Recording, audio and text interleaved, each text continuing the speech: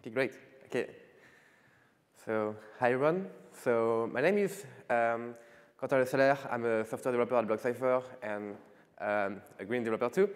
And I'm really happy to be here today to talk about uh, Grin. So, specifically about uh, building Mimblewimble Grin, uh, an implementation for privacy and scalability.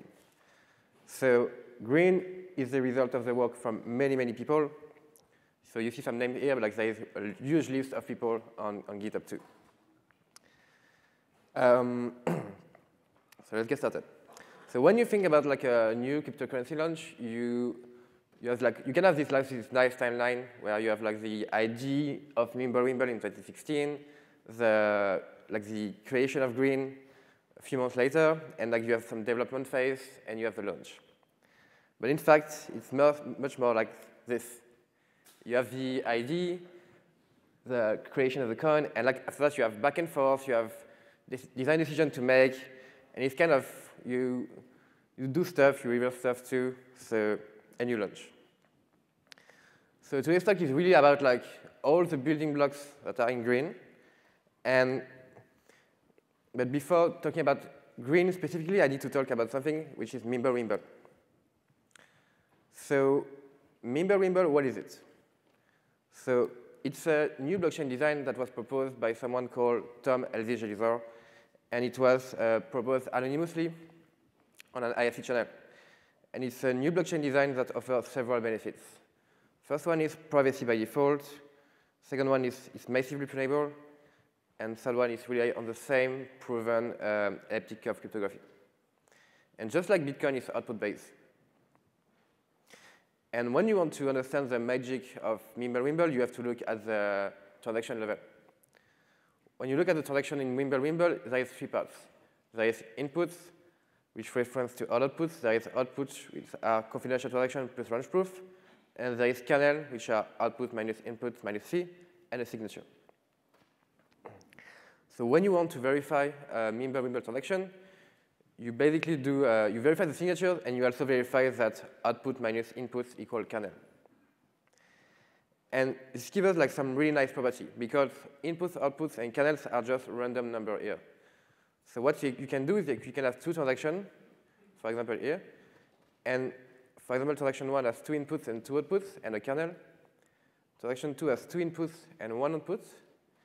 And you can see that transaction two actually spends um, an, an output from transaction one. And when you do like the, uh, the math, like output minus input equal kernel, what you can do is you can just sum those two transactions, and it's still the same equation. And what you can also do is you can also remove the spent output from the blockchain, and the equation output minus input is still valid, equal kernel. And so we have the same idea for the blockchain, uh, for the Mimblewimble blockchain. It's like every block in the Mimblewimble blockchain is basically a huge transaction because miners will take all the, all the transaction, group them, do what we call the cut through, which is removing the spent, uh, spent outputs, and publish this big transaction. And what is really cool with Mimblewimble is when you want to sync the blockchain, you don't have to, uh, to download every block. You can download just a state of the blockchain, which is basically uh, all the blocks added together where, and where you remove the spent outputs. So it gives you like a really, really light state of the blockchain. Still, you, you will need to download the block headers, um, the unspent transaction output set, and finally, the kernel set. So this is like really like a crash course into uh, Mimblewimble, and now I want to talk about Grin. So building Grin. So just to take a step back, uh, Grin was created by, in October 20, 2016 by someone called Ignatius Peverell. And it's actually the first implementation of Mimblewimble. So when Ignatius started to uh, started Grin, the idea was to create uh, a simple blockchain because Mimblewimble in a way is simple.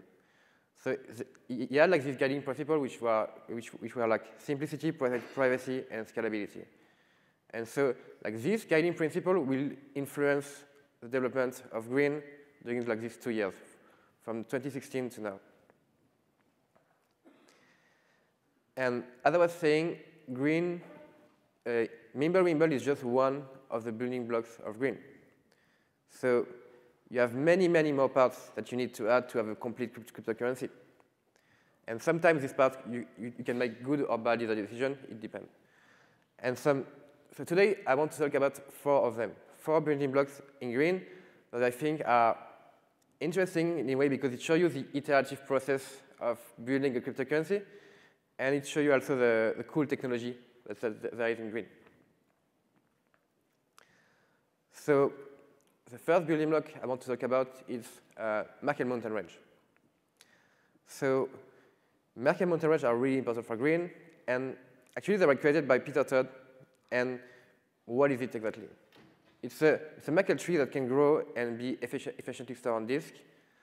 So it's a really fast data structure to store information. And anytime you can have a um, logarithmic size proof that an element belongs to the tree. So it's really, really useful for a blockchain like Mimblewimble, like in Grin. So in Grin, this building block is used to several things. To store the kernels, the outputs, and the range proof. And this enables fast sync. So fast sync is when you download the, the state of the blockchain reduce.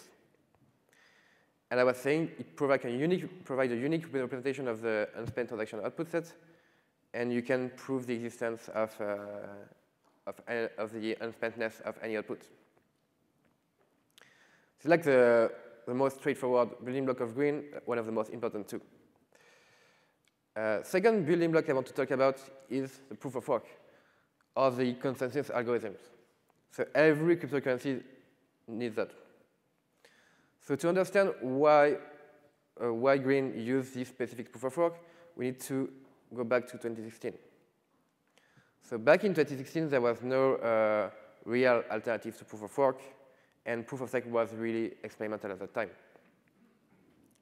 So since the beginning of Grin, uh, John Tromp Cuckoo Cycle was chosen to be the, the Grin proof of work. And like at the time, there were like three reasons why it was uh, selected. Because it's a simple design, which is like only 42 line, uh, line specification. It's memory bound, and it was initially thought to be ASIC resistant. So it was back in 2016. Because you will need a certain amount of memory to, uh, to compute the result, and memory is really expensive for ASICs. But the thing is, like, a year and a half later, we figured that um, in August 2018, secret ASIC mining was a thing. So there was the uh, Zcash ASICs, the Monero ASICs, and we figured out that the possibility that someone could um, mine from, on day one with a secret ASICs on Cuckoo Cycle was really, really high. And we don't want that, because we don't want to compromise the fair distribution of the coin and even more at the beginning of a new, of a new cryptocurrency. We don't, want, we don't want to damage the security of Grin because of the uh, mining centralization. And so the first idea was to switch to a dual proof of work system. Uh, so two proof of work, one for ASICs and one for GPU, which we call the primary proof of work for ASICs and secondary proof of work for GPU. Primary proof of work was Cuckoo Cycle, which was supposed to be ASIC friendly. And the second type of work was uh, equihash, or equigrin, because it's equihash with uh, different parameters than Zcash. And like this second type of work will be tweaked every six months to discourage any ASIC manufacturer to build ASIC for that.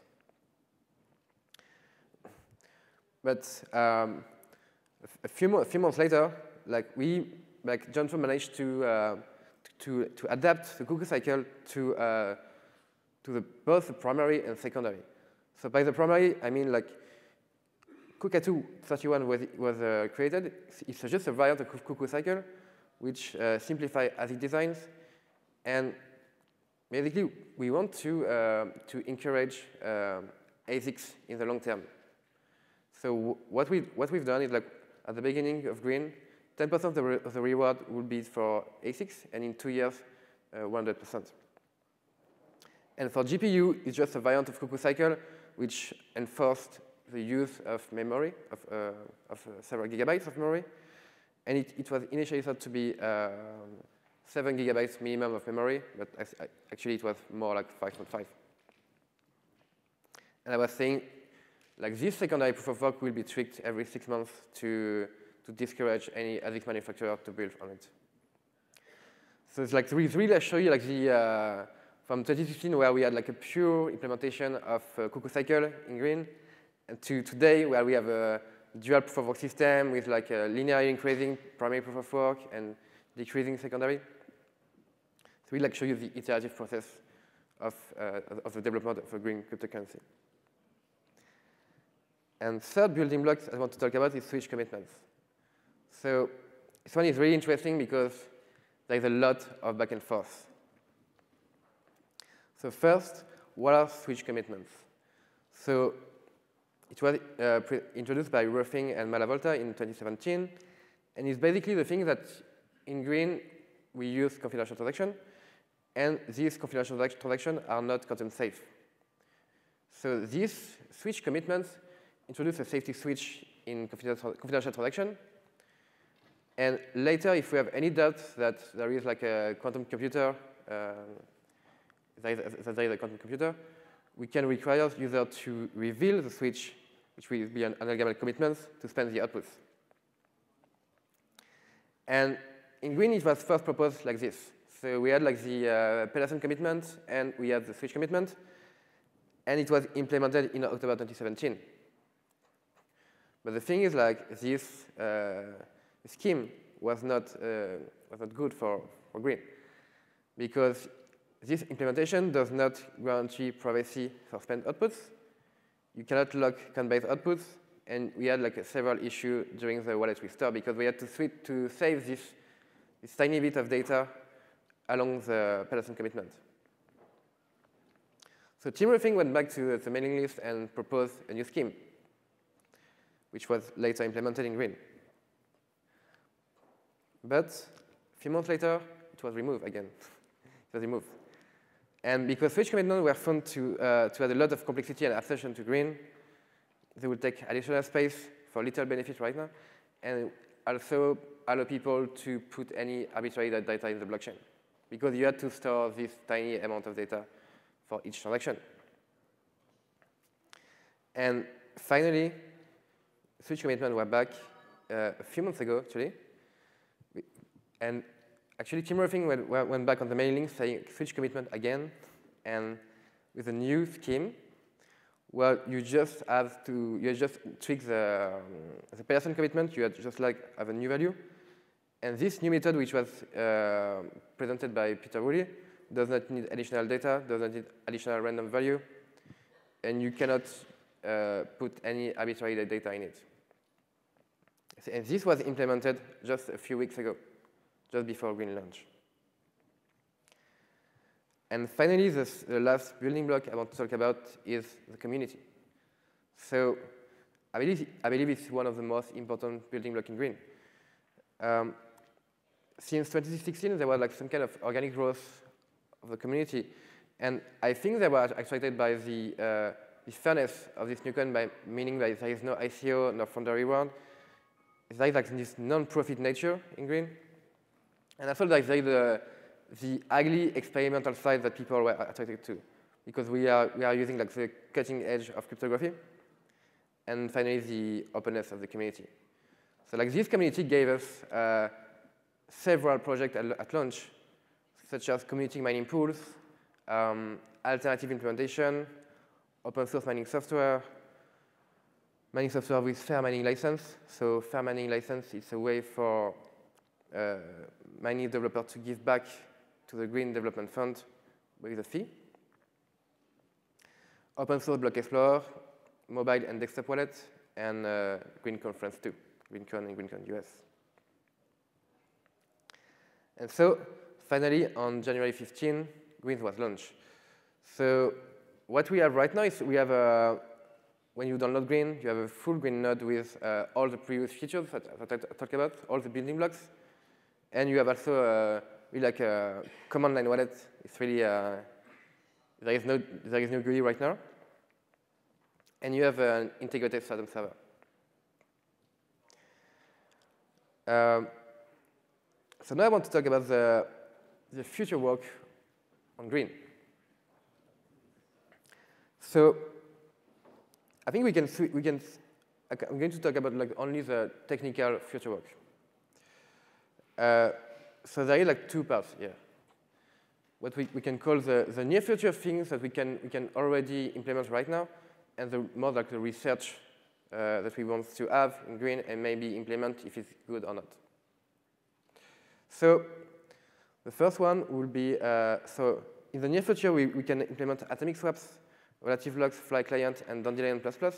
And the research uh, will be like Vault, uh, RSA accumulators, scriptless script, and uh, BLS signatures. So I'm going to go through three of them. First one will be is Fly Client. So what is Fly Client? So it was created by Luu Benedikt Bünz, and Mahdi Zamani, and presented at Scaling Bitcoin 2017.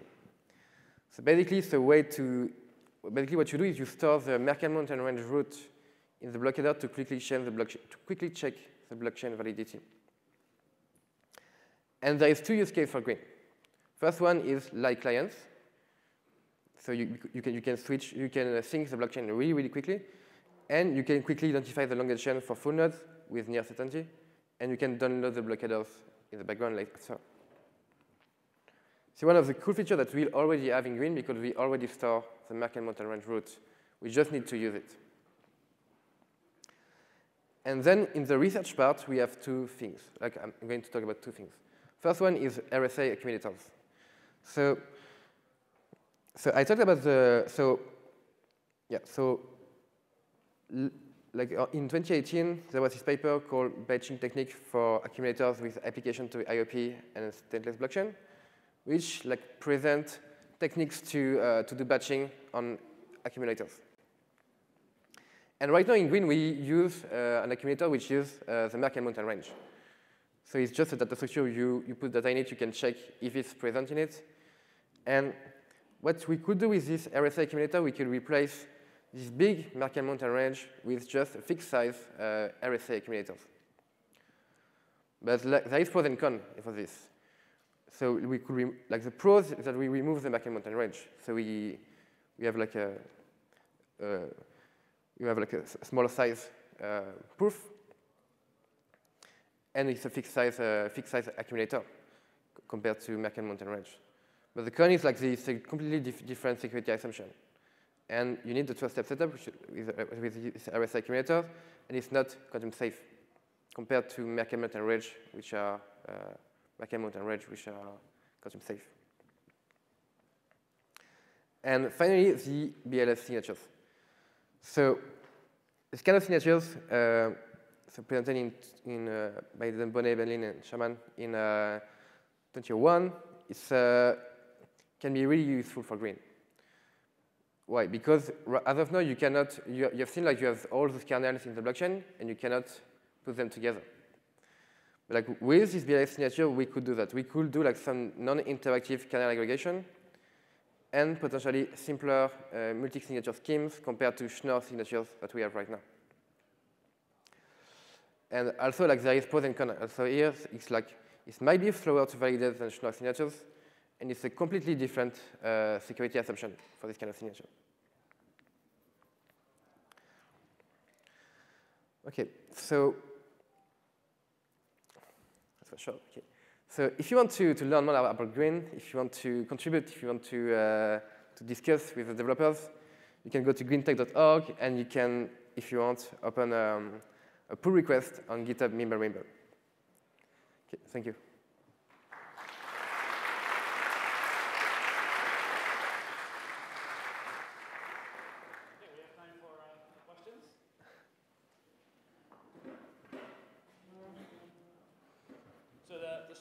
Switch commitment you're using is actually pretty pretty cool. I mean, so yeah. That, does that actually, so that's deployed? That's actually yeah. in the project? Yeah. Done by uh, this guy. what, what, what's, what's the plan for uh, like? Uh, so if a disaster happens and a quantum computer is built, there's like a switch you can pull, and then everybody has to use the switch commitments. Yeah. So how, how does that work? So basically, like you, you have like the, you, you have your outputs, and you you know like the, you know the commitments. Because bec- the, thing like you, you can choose to reveal. We, we can say okay, like if there is a quantum computer, we, we can we will have to reveal these values, which are in here, and only you can know them. So like yeah. So, so normally you would just reveal B, and in Uh, the case of a quantum attack, you'd have to reveal B prime. Yeah, I guess so. Yeah. Yeah. So who, who decides? So I'm just curious, how, Uh, how is this going to work? Who decides that it's time to do the switch? Uh, so like there is no like there is no roadmap. So what happens is like when you ah we decide like I, I mean in, in the um, that's a good question. Okay, so actually like it will be like a like a, a community decision to say okay we have to enforce this new scheme right now because we believe that as, as you were saying uh, in 30 years maybe there will be like quantum compute computers. So if like may, maybe it will be too late or maybe like too early we don't know but it's just a community decision. Yeah. Great, thanks. Any other, any other questions? All right, so thank you. Let's thank the speaker again.